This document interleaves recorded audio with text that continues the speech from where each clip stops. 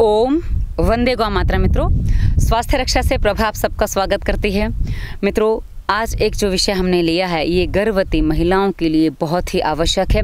और यदि आपने इस विषय पर थोड़ा ध्यान नहीं दिया तो हो सकता है आपका डॉक्टर आपको फंसाए और आपको सीजर करवा दे। मित्रों, विषय क्या है?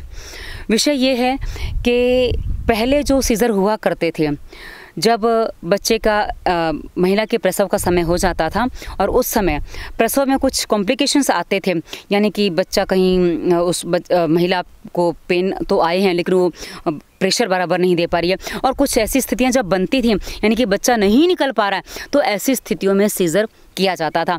अन्यथा सामान्यतः कोई डॉक्टर सीज़र नहीं करता था। और कम से कम पंद्रह दिन पहले भी डॉक्टर नहीं बताते थे कि आपको सीज़र करना पड़ेगा।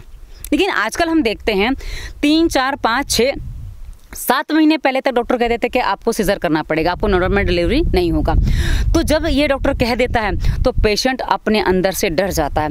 उसको ये लगता है कि अरे, मेरे को नॉर्मल डिलीवरी नहीं होगा तो मेरे को ऐसी परेशानी होगी, मेरे को वैसी परेशानी होगी और बहुत सारी समस्याओं से उसको जूझना पड़ेगा, ऐसा उसको समझ में आने लगता है और वो डर जाता है, क्योंकि ऑपरेशन विषय ही ऐसा है कि इससे सबको डर लगता ही है, क्योंकि चीर फाड़ से सबको डर लगता है। तो यदि आप इस चीर फाड़ से बचना चाहते हैं, यदि आपके डॉक्टर ने भी आपको ऐसा बोला है तो सबसे पहला काम आप डॉक्टर बदलिए। आप कहाँ जाएँ, मैं आपको स्पष्ट करती हूँ।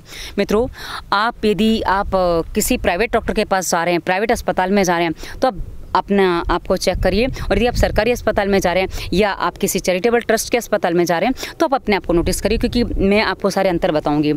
होता क्या है, जब आप प्राइवेट अस्पताल में जाते हैं तो वहाँ वो मैं उनको दुकानें कहती हूँ। और दुकान जो खुलती हैं, वो सिर्फ़ प्रॉफिट के लिए खुलती हैं। वहाँ उनको प्रॉफिट कमाना होता है, इसलिए दुकानें खुलते हैं।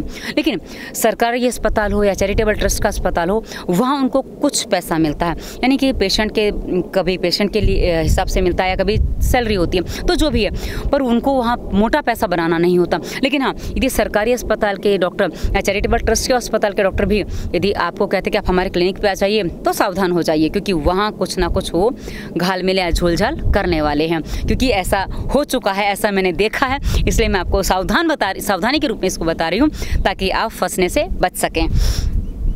तो अब करना क्या है मित्रों? यदि आपके डॉक्टर ने आपको पहले से ही सीजर बता दिया है तो सबसे पहले डॉक्टर बदलिए। और किसके पास जाएँ?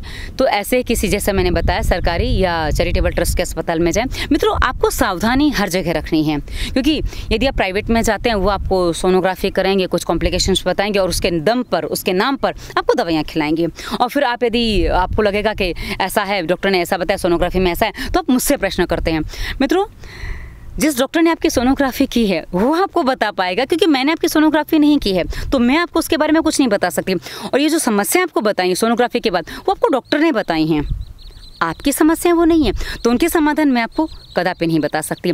हाँ हमारे वीडियोज़ में हमने स्पष्ट बताया है कि आपको कैसे निर्देशों का पालन करना है क्या क्या करना है, क्या नहीं करना हमारी पूरी प्लेलिस्ट है गर्भावस्था। वो हमने पूरा उसमें बताया कि आप ये, यदि ये सब पालन करेंगे तो आपकी डिलीवरी नॉर्मल ही होगी। पर हाँ यदि आप हमारे निर्देशों का पालन नहीं करते हैं तो हम कुछ नहीं कर सकते, क्योंकि हमारे पास उसके अलावा कोई और रास्ता नहीं होता। हम आपको निर्देश दे रहे हैं। उसके लिए आपको पूरी प्लेलिस्ट गर्भावस्था हमारी देखनी होगी। चलिए। अब क्या है कि हाँ फिर आप बोलते कि इतनी सारी हमारी ये कॉम्प्लिकेशन इस पर अपने वीडियो नहीं दिया। मित्रों, आप कोई भी कॉम्प्लिकेशन लेके आइए। 300-400 तरीके की कॉम्प्लिकेशंस के समाधान हमारे उन वीडियोस में आपको मिल जाएँगे। और यदि हर विषय पर मैं वीडियो बनाने जाऊँ, इतनी वीडियो आप भी नहीं देखेंगे और इतनी वीडियो बनाने का मेरे पास समय भी नहीं है, क्योंकि छोटी छोटी बात पर वीडियो नहीं बनाया जा सकता। तो इसलिए हम आपको ये बात कह रहे हैं। अब करना क्या है आपको कि सबसे पहले डॉक्टर बदलना है डॉक्टर बदल दिया, अस्पताल अपने बदल दिया। अब वहाँ नए सिरे से आपकी जाँच होगी और जो देखेंगे वो आपको बता देंगे कि आपको क्या करना, क्या नहीं करना। और साथ ही यदि आप हमारे निर्देशों का पालन करते हैं तो कुछ कंडीशन में आपकी सीजर डिलीवरी होगी। जैसे आपसे पेन बर्दाश्त नहीं हो रहा है आपसे पेन सहन नहीं हो रहा है, वरना आपको बता दूँ, सवा चार, साढ़े चार किलो के बच्चे भी सामान्य प्रसव से, यानी कि नॉर्मल डिलीवरी से हो जाया करते हैं। मेरा अपना बेटा सवा चार किलो का हुआ था, इसलिए मैं आपको ये बात स्पष्ट तरीके से बता रही हूँ। और मैंने, मुझे कुछ ज़्यादा परेशानी नहीं हुई थी। एक सामान्य डिलीवरी कैसे होती है, वैसे मेरा बच्चा हो गया था। रात को पेन हुआ, मैंने पूरा दिया है। मेरे दूसरे चैनल प्रभाव पे आपको इस विषय पर वीडियो मिल जाएगा।